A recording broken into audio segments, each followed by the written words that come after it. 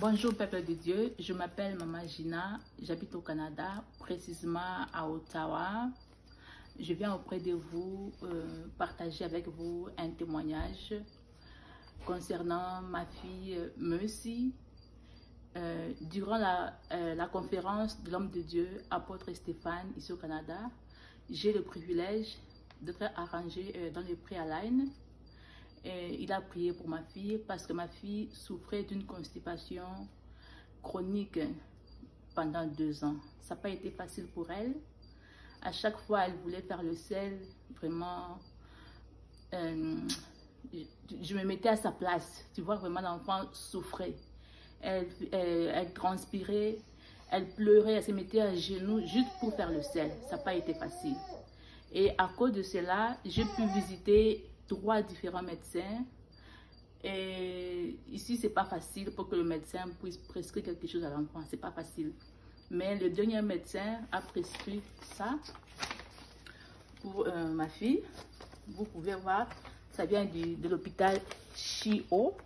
Chio, c'est l'hôpital de l'enfant ici à Ottawa. Le médecin m'a donné ça et il a prescrit comme prescription vous voyez ça? Ici, il m'a dit d'aller à la pharmacie pour acheter ce produit.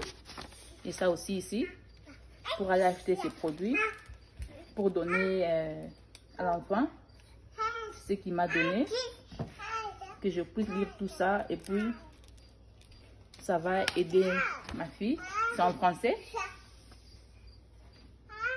Mais je me disais, je crois euh, le nom c'est ici, quelque part ici, quelque part ici, le nom du, mé- du médicament.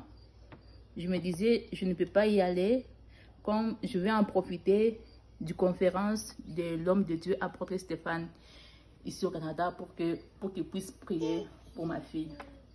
Je suis allée et il a prié pour ma fille. Le même jour, nous sommes rentrés à la maison après la conférence. Ma fille a fait le sel normalement.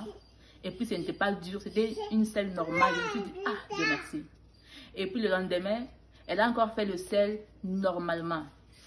Jusqu'aujourd'hui où je, je vous parle, elle fait normalement le sel sans pleurer, sans problème. Maintenant, elle n'est plus traumatisée d'aller à la toilette comme auparavant. Je remercie beaucoup l'homme de Dieu, apôtre Stéphane.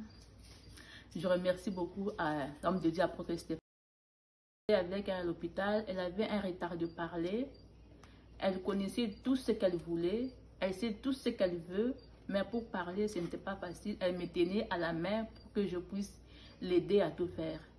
Mais après la prière, maintenant, elle commence à m'appeler maman. Je vois il y a l'évolution. Je remercie beaucoup Dieu pour la prière de l'apôtre Stéphane. Que Dieu vous bénisse. Comme advice, je vais dire Keep watching Imo TV. Restez branchés. Que Dieu vous bénisse.